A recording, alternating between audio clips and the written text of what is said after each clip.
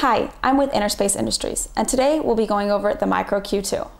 The MicroCue2 works with PC, Mac, Linux, and any other USB compatible computer. The standard product comes with one three button handset, the main unit, an antenna, and two USB cables. In this case, we're only connected to one computer, but in other cases, you may want to be connected to two for reasons such as you have two slideshows, one of pictures and one of information, or you'd like your presenter to see his or her notes and the audience to see a different slideshow.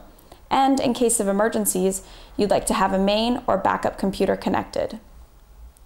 The MicroCue2 has a range of 200 feet or 75 meters and is like any other radio frequency system which is dependent on its environment. In extreme cases, you may find that your slideshow is not moving forward.